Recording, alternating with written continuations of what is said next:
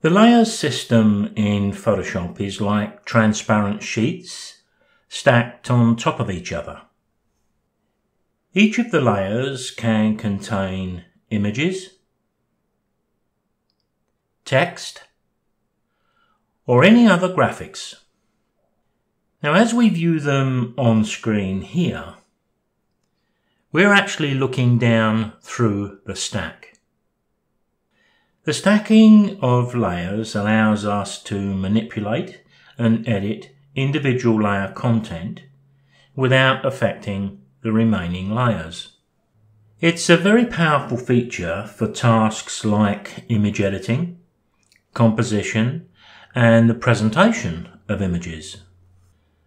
For us photographers, it's the method we use to create composite images and montages it's for adding that vital element that the image maybe needs because photography is an art.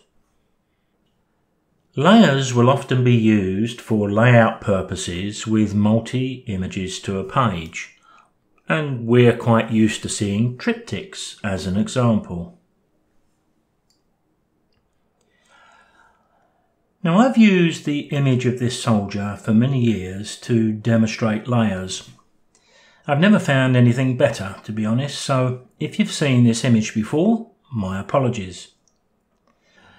This was in fact a wooden soldier which was life-size, but I've removed it from its background.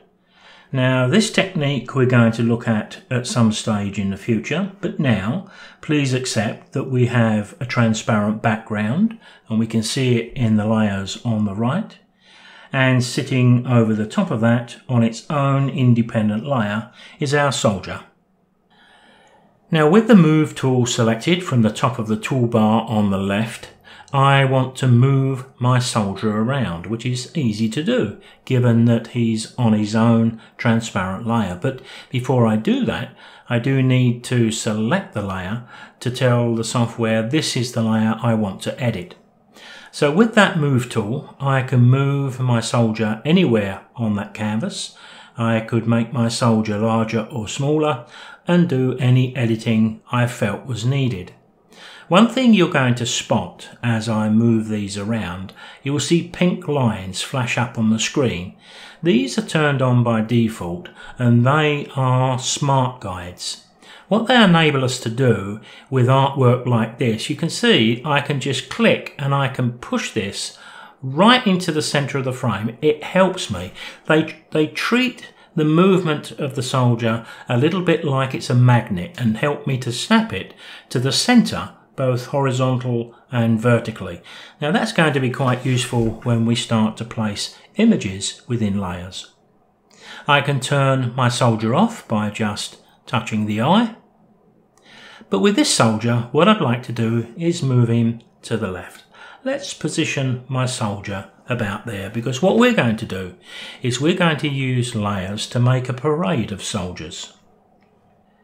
Now if I move my cursor into the grey area to the right of the thumbnail, I can right click and I can duplicate the layer. Now when I do that, I'm going to keep the same name you can see it appear in the layers palette, but of course we can't see anything on screen. The simple reason for that is my first soldier is now sitting right behind this one. It's like they're in single file in front of me. Although there's two there, I can only see one. So what we're going to do with the second soldier I've just created here, with the move tool, I'm going to move him a little bit to the right. Now you can see that the guides are helping me to line these up pretty nicely. Now there is a much quicker way to make copies of our layers. It's a shortcut key again, but it's one of those you're going to use quite a lot of. So it's worth writing this down and learning this one. Control J will always copy a layer or a selection you've made within layers. But here it copies my layer. The layer's automatically selected once it's copied, so all I've got to do is to click and drag. And there I've got my next one position. I want to get it right. I'm just looking at the distance between the shoulders. It's not crucial for our demonstration, but nice to show it's easy to do. So let's do that a few more times. I'm going to hit Control J and I'm going to drag my soldiers until I've got a complete parade.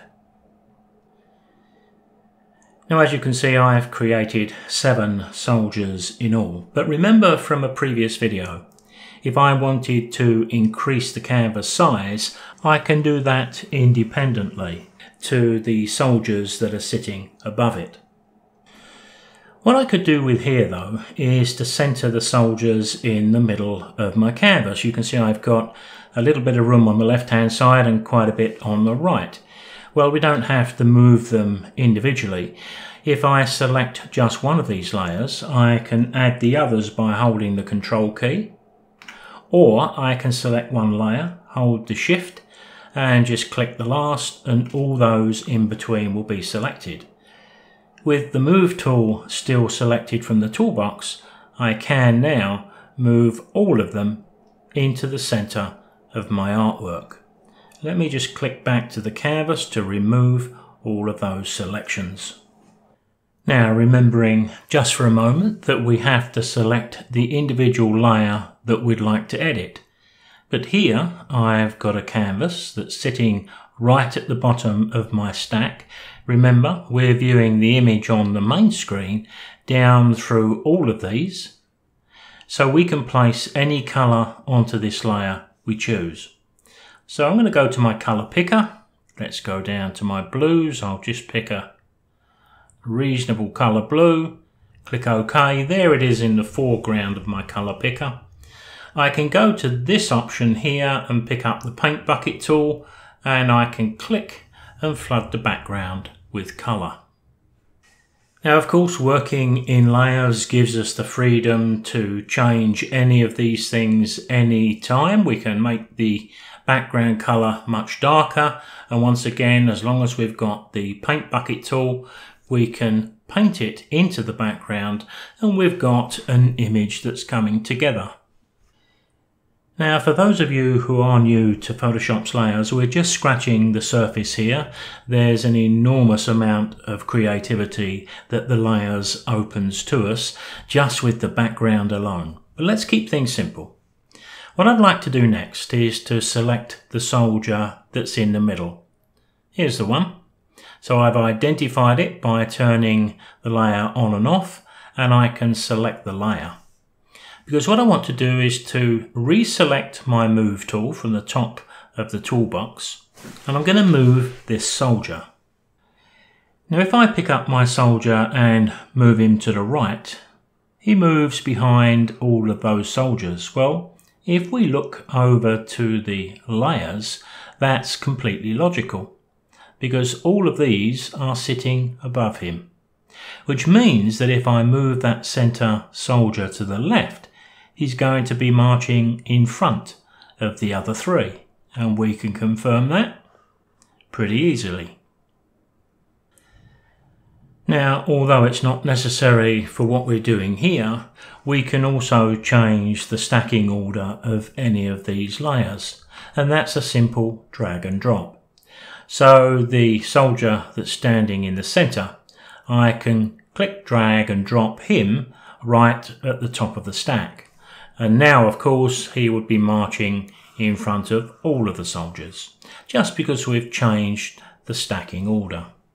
Now this video is rapidly approaching 10 minutes and I think for a basic layers video that's probably going to be enough. When we save our image as a Photoshop file, all of these layers are retained exactly as they are now.